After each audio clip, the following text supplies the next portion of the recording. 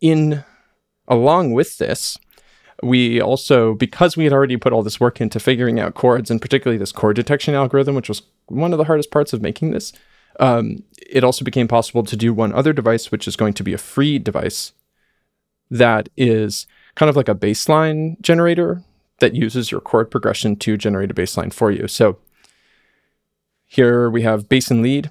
It can also generate like a lead.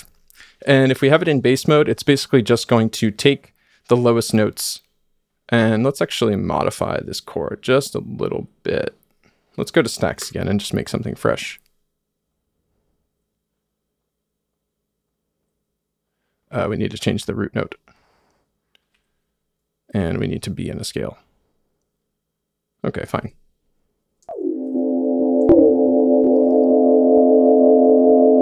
Shush. Okay. Uh, so we have a chord progression here that maybe we're using somewhere in our track. And I'm going to go to bass and lead, and I'm going to hit transform. And it's just going to get rid of everything but the lowest notes.